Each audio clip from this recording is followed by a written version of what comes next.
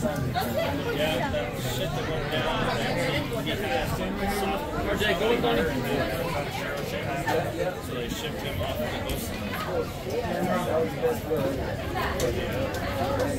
the coast. Yeah.